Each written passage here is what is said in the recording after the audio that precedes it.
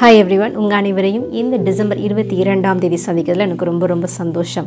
இந்த நாள் நம்ம தேசத்தில் நேஷ்னல் மேத்தமெட்டிக்ஸ் டேயாக கொண்டாடப்படுது. இரண்டாயிரத்தி பன்னிரெண்டாம் ஆண்டு பிப்ரவரி மாதம் இருபத்தி ஆறாம் தேதி அப்போ இருந்த பிரைம் மினிஸ்டர் டாக்டர் மன்மோகன் சிங் அவர்கள் மெட்ராஸ் யூனிவர்சிட்டிக்கு வந்திருக்கும் பொழுது தான் இந்த நேஷ்னல் மேத்தமெட்டிக்ஸ் டேயை நம்ம ஸ்ரீனிவாச ராமானுஜம் ஐயா அவர்களுடைய பிறந்த நாள் ஆகிய டிசம்பர் இருபத்தி இரண்டாம் தேதி அன்று அனுசரிக்கணும் அப்படின்னு பிரகடனப்படுத்தினார். அது மட்டும் இல்லாமல் அந்த இரண்டாயிரத்தி பன்னிரெண்டாம் ஆண்டையே நேஷனல் மேத்தமெட்டிக்ஸ் இயராக அறிவித்தார் இப்படி தான் நேஷனல் மேத்தமெட்டிக்ஸ் டே ஒவ்வொரு ஆண்டும் டிசம்பர் இருபத்தி இரண்டாம் தேதி கொண்டாடப்படுது. ஆயிரத்தி எண்ணூற்றி எண்பத்தி ஏழாம் ஆண்டு டிசம்பர் இருபத்தி இரண்டாம் தேதி தான் ஸ்ரீனிவாச ராமானுஜன் ஐயா அவர்கள் பிறந்த நாள். இவர் தமிழ்நாட்டில் உள்ள ஈரோடு பகுதியில் தான் பிறந்தார். மிகவும் ஏழ்மையான குடும்பத்தில் பிறந்தனால இவர் சிறுவயது முதலே பல போராட்டங்களை சந்தித்திருக்கிறார். கணக்கில் இவருக்கு இருந்த ஆர்வம் சிறுவயது முதலே அதிகரிச்சிருக்கு. ஸோ அது சம்பந்தப்பட்ட புத்தகங்களை மற்றவங்க கிட்ட இருந்து வாங்கி அவர் படிக்கவும் ஆரம்பிச்சிருக்கிறாரு. ஆனால் மற்ற பாடங்களில் இவருக்கு அதிக நாட்டம் இல்லாதனால அவர் பள்ளி படிப்பையும் ரொம்ப கஷ்டப்பட்டு தான் தாண்டி வந்தார். கும்பகோணம் காலேஜில் ஜாயின் பண்ண இவர். ஸோ அங்கே இவருடைய மேத்தமெட்டிக்ஸ் ஸ்கில்ஸை பார்த்து இவருக்கு ஸ்காலர்ஷிப் கொடுத்துருக்குறாங்க.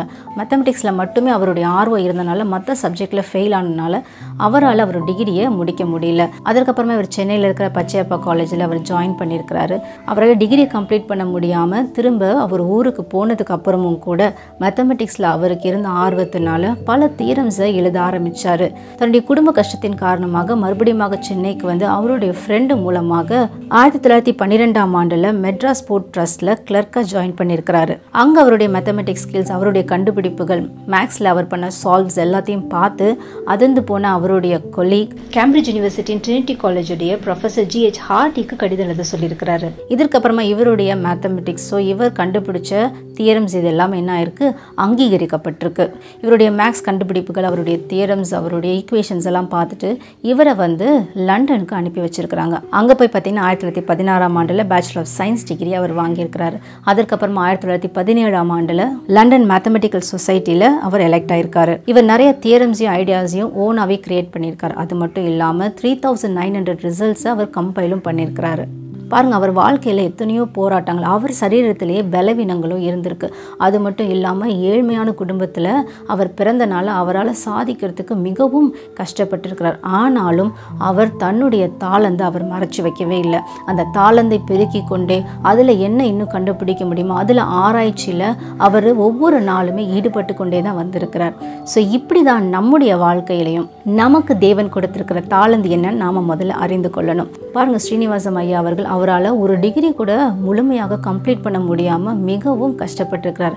ஆனால் எப்போ அவருடைய தாளந்து ரெக்கக்னைஸ் பண்ணப்பட்டதோ அப்போ என்ன ஆயிடுச்சு? அவர் லண்டனில் போய் பேச்சுலர் ஆஃப் சயின்ஸ் டிகிரியே வாங்கியிருக்கிறார். அது மட்டும் இல்லாமல் அங்கே மேத்தமெட்டிக்கல் சொசைட்டியில் ஒரு மெம்பராகவும் எலெக்ட் ஆயிருக்காரு.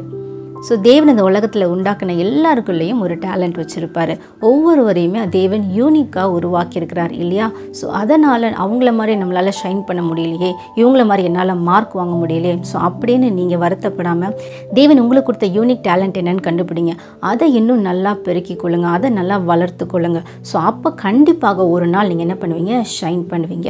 மற்ற இருபத்தி ஐந்தாம் அதிகாரத்தில் பார்த்தோன்னா தன்னுடைய ஊழியக்காரர்கள் மூன்று பேர்கிட்ட எஜமான் என்ன பண்ணுறாரு தாளந்துகளை கொடுத்துட்டு போகிறார் ஒருத்தர்கிட்ட ஐந்து தாளந்து ஒருத்தர்கிட்ட ரெண்டு ஒருத்தர்கிட்ட ஒன்று. ஆனால் அந்த ஒன்று வச்சிருக்கிறவன் என்ன பண்ணிட்டார்னா அதை வந்து புதைச்சி வச்சுட்டானா. ஏன்னா நான் பயந்து போய் உமது தாளந்தை நிலத்தில் புதைத்து வைத்தேன். இதோ உம்முடையதை வாங்கிக் கொள்ளும் என்றான். பாருங்க இந்த ஊழியக்காரன் தன்னுடைய தாளந்தை என்ன பண்ணிட்டான்? புதைச்சி வச்சுட்டான். ஏன்னா அவன் பயந்தானான் நமக்கு தேவன் கொடுத்த தாளந்தை யாருக்காகவும் எந்த மனிதருக்காகவும் நாம் பயந்து அதை ஒழித்து வைக்கக்கூடாது.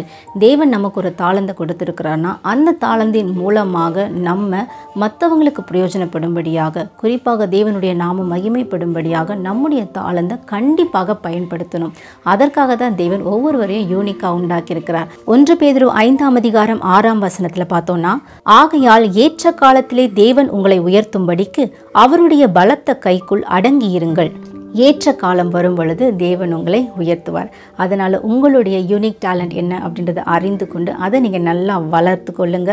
அப்பொழுது தேவன் உங்களுடைய நேரம் வரும் பொழுது உங்களை எடுத்து உயர்த்தி உங்களுடைய தாளந்தின் மூலமாக ஆண்டவராக இயேசு கிறிஸ்துவின் நாமத்தை மகிமைப்படுத்துவார். கர்த்தர் தாமே உங்கள் ஒவ்வொருவரையும் ஆசிர்வதிப்பாராக. God bless you